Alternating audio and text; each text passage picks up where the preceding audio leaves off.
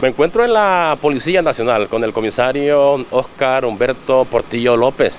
Él es el jefe de la unidad metropolitana número 17 en Olanchito. Nos va a dar el informe sobre las últimas incidencias que se presentan, las actividades en las últimas 24 horas.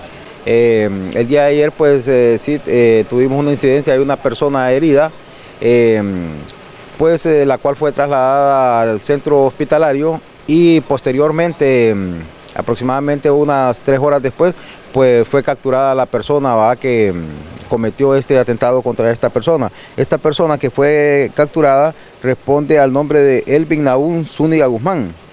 Esta persona es originaria de aquí de Lanchito Lloro y fue detenida por el motivo de tentativa de homicidio. Esta persona fue remitida eh, para dar el procedimiento de ley correspondiente.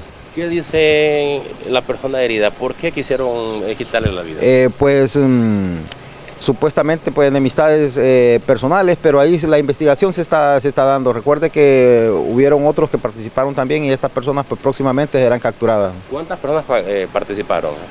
supuestamente fueron tres personas, ya se está trabajando en la identificación de estas personas, ya hay una persona capturada y remitida.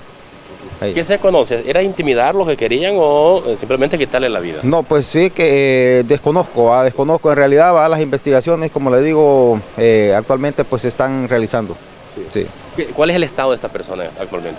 esta persona no se encuentra estable, pues, recibió parece que un disparo en la parte del, pie y se encuentra pues estable.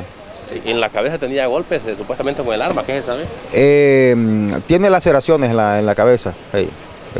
¿Qué otras actividades está haciendo la eh, Policía Nacional para darle siempre la seguridad y la protección a la población? Bueno, recuerden, siempre mantenemos eh, los patrullajes rutinarios siempre la ciudad, ¿va? Con el mayor número de personal. Eh, estamos, ¿cómo se llama?, también realizando operativos en lo que es los ejes carreteros. Tenemos ya las patrullas están trabajando en los ejes carreteros. Lo mismo mm, el personal de tránsito también, va que tiene instrucciones precisas para de mm, el ordenamiento vial, va que sabemos que tenemos problemas aquí en eso, ya se le dieron instrucciones precisas al, jefe de, tránsito para que mm, eh, se pongan como operativos, eh, también se sancione a todas las personas que andan eh, manejando motos sin casco, que no portan licencia, bueno, que andan cometiendo diferentes faltas, que ya todos sabemos que eso es lo que nos ocasiona accidentes aquí. Entonces va a haber mano dura en eso, ¿va? Eh, quien eh, ande mal, pues entonces se va a proceder a sancionar. ¿Con qué instituciones está trabajando, hablando siempre de las instituciones de seguridad? Eh, respecto a, los trabajos que hace Policía Militar o con quién más? No, no, claro, siempre estamos trabajando en conjunto, ¿va? con apoyo va a la Policía Militar, bueno, las diferentes fuerzas que sean, que sean necesarias. Para, ¿cómo es? para la, precisamente para dar mayor seguridad aquí a la ciudad. ¿Cómo también está el tema de, las investigaciones de, extorsión que están haciendo? Porque todavía hay empresas que están eh, sin poder trabajar. No, claro, eh, siempre se está trabajando en eso. Eh, tanto la policía de aquí de Olanchito como también los apoyos que tenemos de lo que es la Fuerza Antimaras.